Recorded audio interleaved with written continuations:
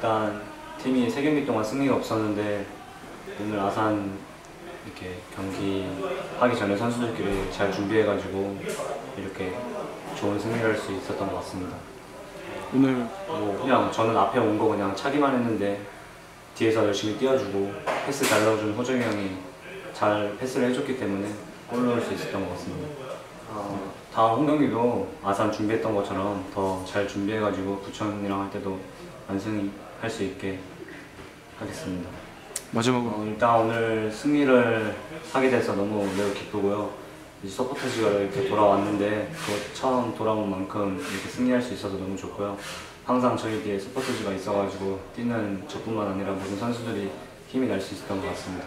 항상 서포터즈 분들께 감사하다는 말씀 드리고 싶습니다.